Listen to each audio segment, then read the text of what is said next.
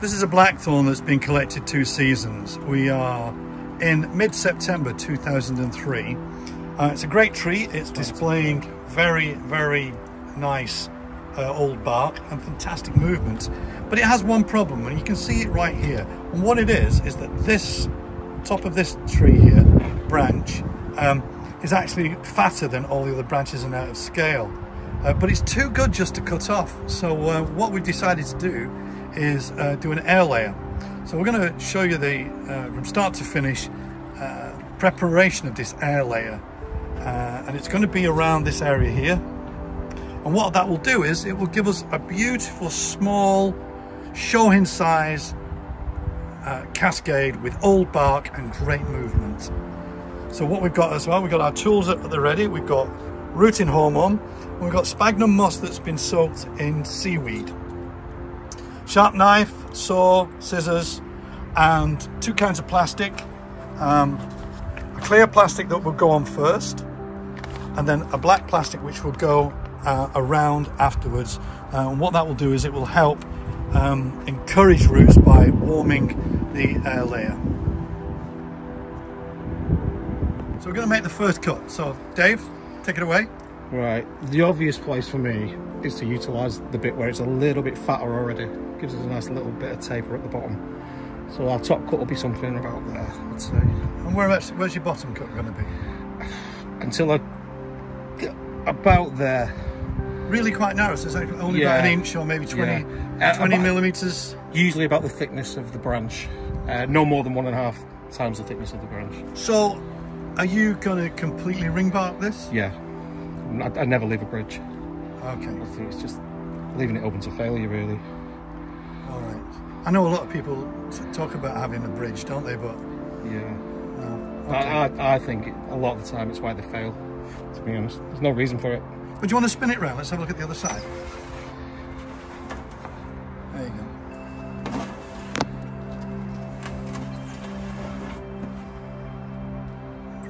So, you've got a sharp knife. A saw. Oh, you're going to do the saw first. All Bit, right. bit okay. controversial. All right. So why? Why the saw? Well, everybody says it's got to be a really clean cut with a really sharp knife. But uh, in my experience, I do it with a saw, okay. and uh, it works. I sometimes tidy up the top cut with a knife if it's a bit jagged. This isn't the normal saw I would normally use. So, All right. Where you go?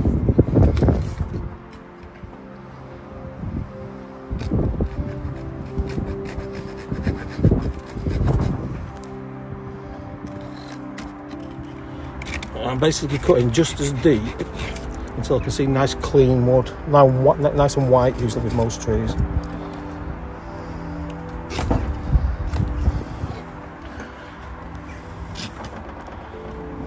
There's a bit of an old wound here, so it's actually dead wood in there. Be alright though.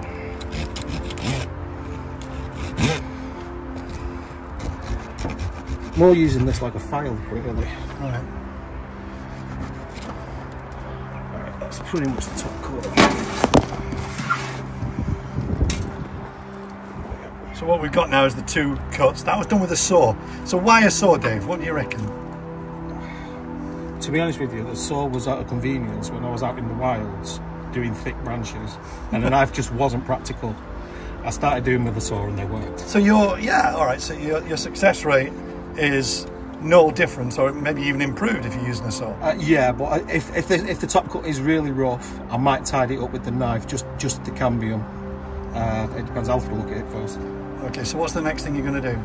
I'm going to cut vertical cut here, and hopefully it'll just peel off. Okay. Should we watch? Should we see that? Yeah, but if it doesn't, uh, we'll have to scrape it. do, do it a bit more. Okay.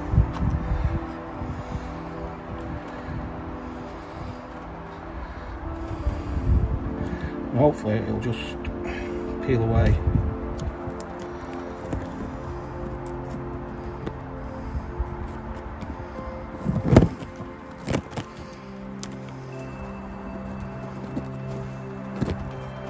It is sticking a little bit. If we were doing this in spring, it would come off a, a little bit easier. So this time of year is not ideal, but then again, you know, it's the opportunity was here to do it now. Yeah. We could have waited. Th- This, this time of the year is it's not traditional, but the same thing when you when you walk when you're walking out in the wilds and it's taking you six hours to get there and back. You tend to uh, do things conveniently. So I used I started putting them on at the same time I was harvesting last year's. Right. I'm the I always harvest in the autumn, so I started putting them on in the autumn. The same day I took them off, I put the new ones on, and they seem to work actually quicker than the conventional timing. A lot of it also depends on what the weather is going to be like over the period, you know, uh, uh, uh, that this has been done. Um, What I, mean- what I mean is, is that, actually I'm not quite sure what I mean. Uh, I'm coming to the conclusion that the time is not that important. Quite often left on over two or even sometimes three winters anyway. Okay. This, where you can see it's gone brown now, that's where the cambium's oxidised quickly. That needs to come off.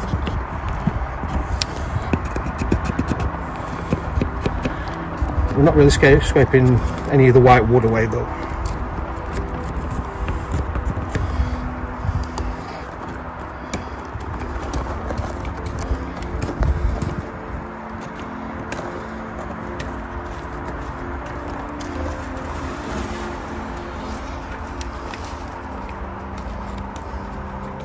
Okay, you can just see it's a bit fibrous at the top here. All I'm going to do with that top coat is clean away those loose fibres.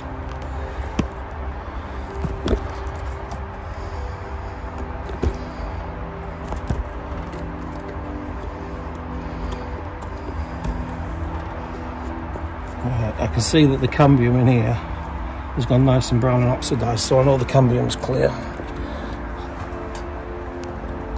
So that's good, we're ready to go.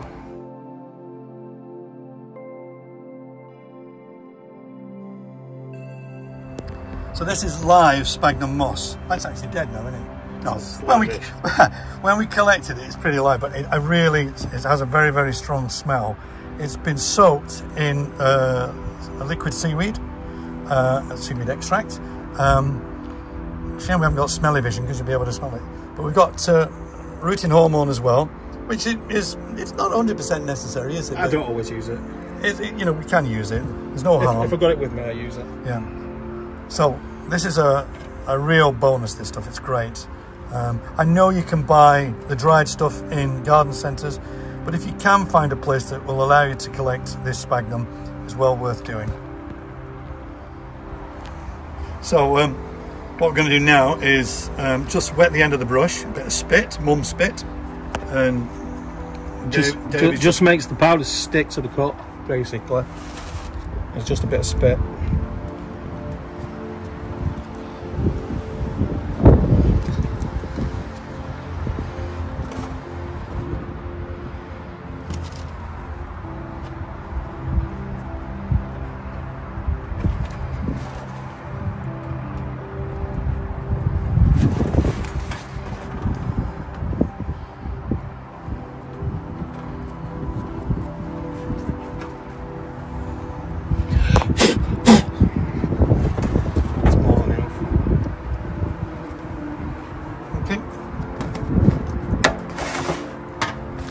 Next bit is the clear plastic.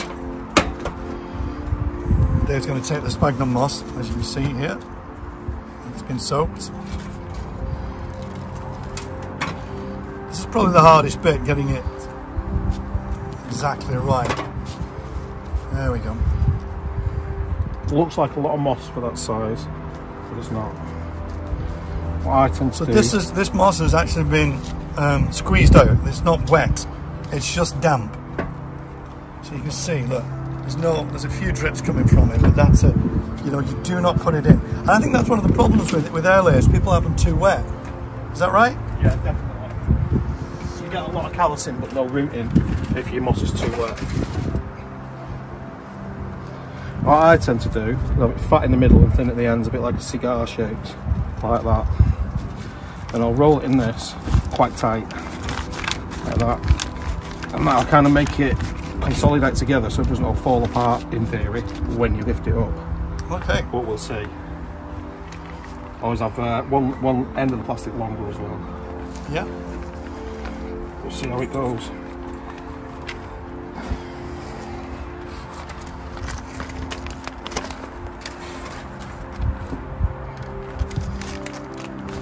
Yeah, got it. Start again. This is actually quite an awkward one because it's quite close to this other branch. If I was to just help move that apart, would that help? Impossible. It's- Trust me, it's, it's nowhere near as awkward as halfway up a tree. Yeah. Because you, you, you do quite a lot of air layering in the wild, don't you? Yeah. Which is where the better material is.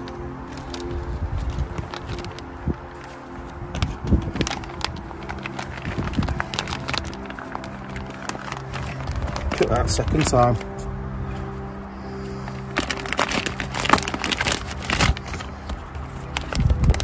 Also helps a lot if you've already got your retaining wires cut now. which we have. They are here, ready and waiting. The only important part really is that top cut. Yeah. I always double check that the, the moss is definitely over that top cut.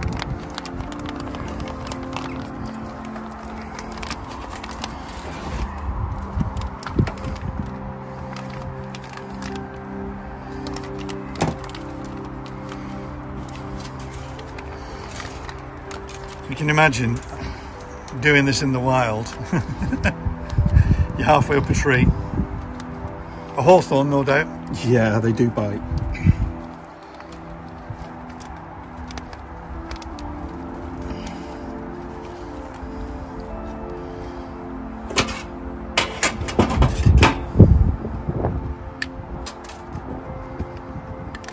So that's pretty secure now. That's going nowhere. We can mess about with that now. So we can double check our cut, make sure everything's covered. But as long as that top cut has got moss, we're all right. Do you want to see it? Yeah, I You can see it. it. I can see it. It's right down there. Yeah. There it is. Well, is so what Yeah. you're saying about moss about an inch higher than the cut? Uh, it doesn't have to be anything like as high as that. As long as it covers that top cut, it's okay. fine. All right. If you notice, just pulling this plastic around it has tightened it a little bit. Uh, but it doesn't have to be like tight like a drum. Right. As long as that moss is touching that top cut, it's- that's, that's what's important.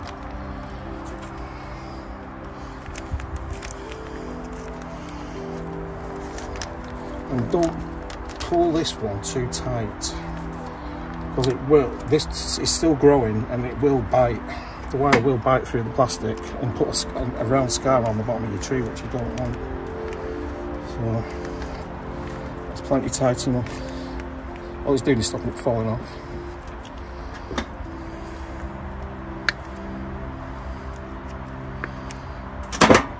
I always shape it a bit now so it's spherical and the branch is pretty much in the middle. So when the weather does warm up, positioning this, Yeah. you would turn it every so often. Yeah, the, the side that gets the sun is the warmest and that'll get the better roots. So if you turn it regularly, Yeah. uh, if you just left it in one place like that and the sun was say here, this is south facing, all the roots would be here and there'd be nothing, there'd be on the nothing other the other side. Uh, in the wild, there's nothing you can do about that. Get up there and turn a tree. If it's in a pot, you can you can control that a bit. You know, it's the ball is spherical. It is a ball. You see Yeah. a lot, and they're Yeah, yeah. like a cylinder. The roots that come out of this cut here will follow that plastic in that shape. Yeah. So you're getting a natural, nice root Yeah. shaped flare, Yeah. nice and flat. Rather than if you if it was a cylinder, the roots would go like that, and you'd have a corner on your roots. Yeah. Okay. No, it, it looks terrible. Yeah, yeah. So, So, so that if you if you if you always make this round, you get the roots a nice natural spherical shape that's great. rather and, than that angle. And you're certainly creating a decent Nebari from the off. in theory, there's yeah. no guarantees with this, is there? Never. there are no guarantees. no. Yeah, And when we say guarantees, I mean this is not exactly the time that we would do an air layer. So if it takes, great. If it doesn't, well, at the end of the day, we were only going to cut it off anyway. So you know, this, this tree as a you know a future bonsai is many years away. So one year or two to do this air layer is not going to sort of slow the whole creation of the mother plant as a bonsai.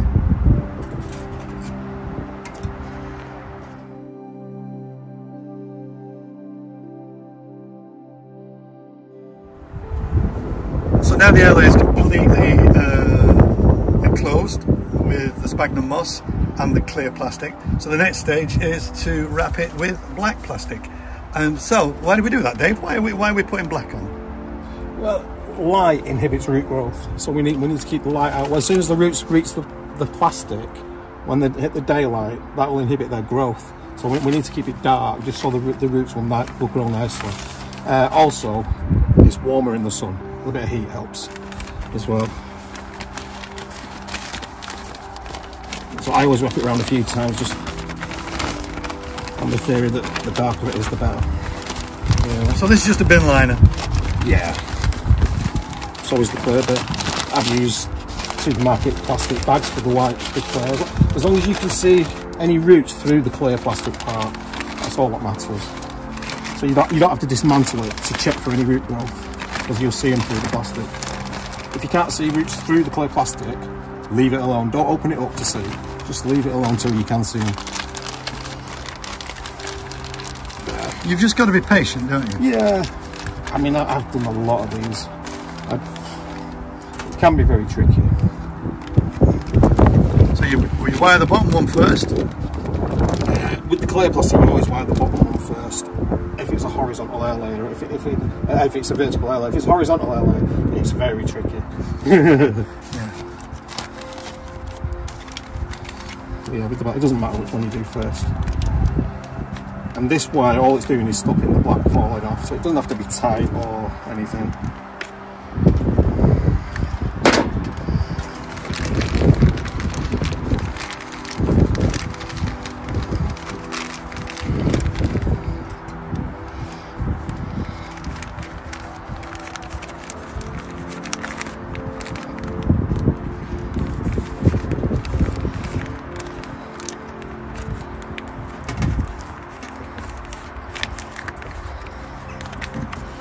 Always leave these tag ends long on this one because you need to open that to inspect it now and again. So Good tip there, everybody. Yeah. So there we go.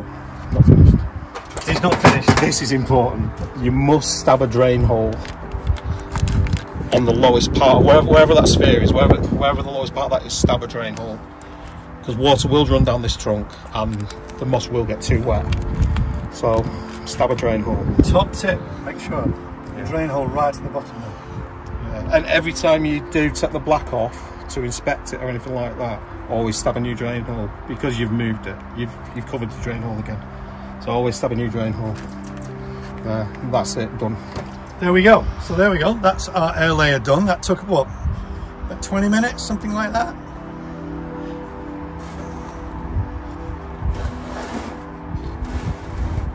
Great technique. Thank you very much, Dave. So we are going to end up with a, uh, a nice little shohin with some great branches and good bark.